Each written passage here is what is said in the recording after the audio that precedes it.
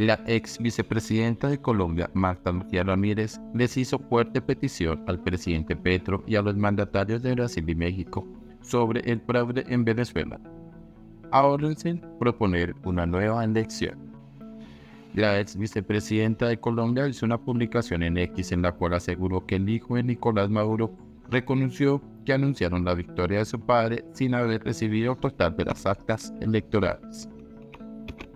Continúa la polémica por el fraude del régimen de Nicolás Maduro tras las elecciones presidenciales en Venezuela.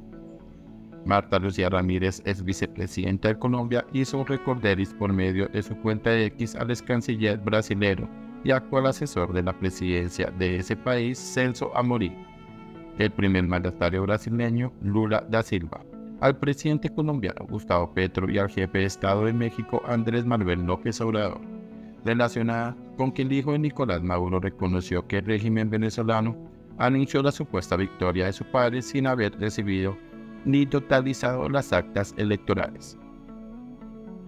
Adicionalmente, la también ex canciller les pidió a los mandatarios que no propongan una nueva elección.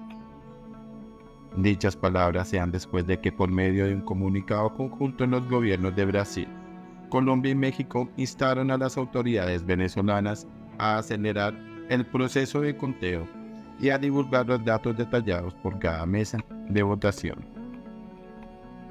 Las palabras exactas de la exfuncionaria pública fueron las siguientes.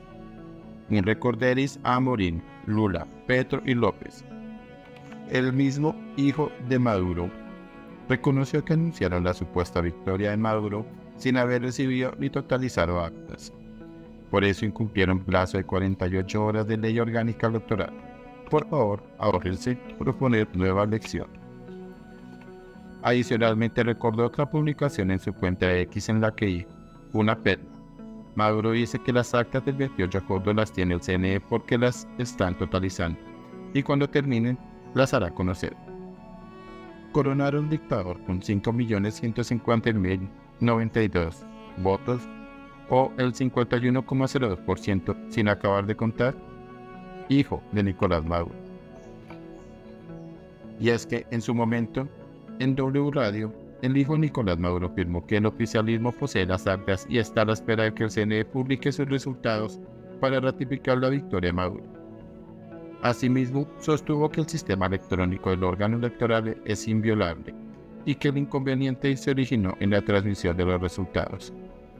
Estamos viendo una serie informático.